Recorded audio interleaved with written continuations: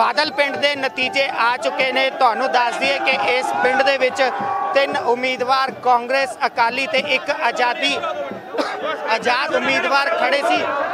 ਮਗਰ ਕਾਂਗਰਸ ਪਾਰਟੀ ਦੇ ਜੋ ਉਮੀਦਵਾਰ ਸੀ, ਉਹਨਾਂ ਦੀ ਜਿੱਤ ਹੋ ਚੁੱਕੀ ਹੈ।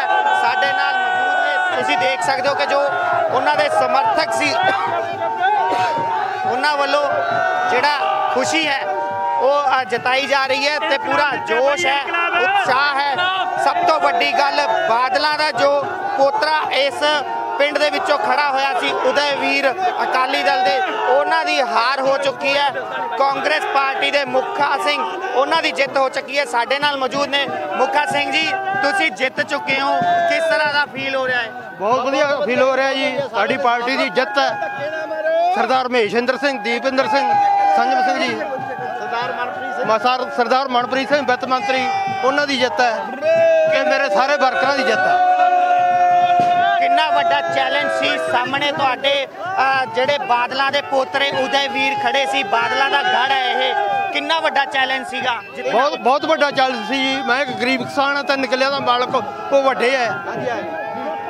ਸਭ ਤੋਂ ਪਹਿਲਾਂ ਕੰਮ ਕੀ ਕਰੋਗੇ ਪਿੰਡ ਦੇ ਲਈ? ਤੁਸੀਂ ਜਿੱਤ ਚੁੱਕੇ ਹੋ ਹੁਣ। ਪਿੰਡ ਦੇ ਜੋ ਵੀ ਰਹਿੰਦੇ ਆ ਕੰਮ। ਪੱਖਪਾਤ ਹੋਇਆ ਪਿਛਲੇ 10 ਸਾਲਾਂ 'ਚ ਉਹਨੂੰ ਮੈਂ ਦੂਰ ਕਰਨ ਦੀ ਕੋਸ਼ਿਸ਼ ਕਰੂੰਗਾ। ਕਿੰਨੀ ਵੋਟਾਂ ਤੋਂ ਤੁਸੀਂ ਜਿੱਤੇ ਹੋ? ਮੈਂ ਤਾਂ 369 ਵੋਟਾਂ ਦੇ ਜਿੱਤਿਆ ਜੀ।